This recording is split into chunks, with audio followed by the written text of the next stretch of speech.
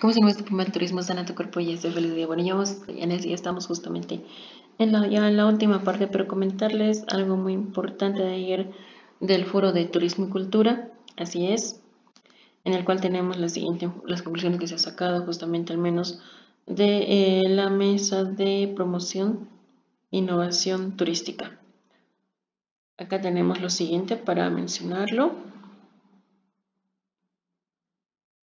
Le mandamos a nuestro amigo Alan que siempre está con nosotros ahí compartiendo todo. Bueno, lo que nos dice es lo siguiente. A ver. Em, acá lo tenemos más arriba. Así es. Nos dice lo siguiente. Concluimos con el taller de donde se definieron los lineamientos para el plan. De todos modos, por porque me puede fallar esa, su memoria en lo que me ha comentado, nos dividimos en grupos y ahí definimos qué puntos se veían de, eh, tener.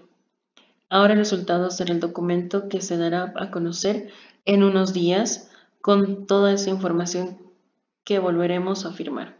Para validar este proceso con los actores que no se quedaron y se hará un conocimiento común porque cada mesa dejó sus lineamientos, así que eso se ordenará y fija que nos pasan a todos, dice.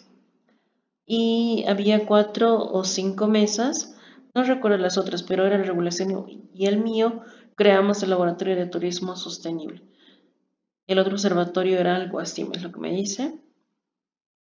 Y sí, a ver, esa, esa idea se ha pedido justamente con eh, Carlos Marín Peñaranda, el observatorio turístico y también eh, la creación también para más adelante de un ministerio de turismo, ¿no? Entonces sería para más adelante, eh, sería bueno proponerlo. Entonces, y la seguridad turística que también tiene que haber, eso tiene que coordinar con la parte, eh, el, gobierno nacional, el viceministerio de turismo, dirección de turismo, así que hay mucho que trabajar, mucha tela para cortar, como se dice en la parte turística.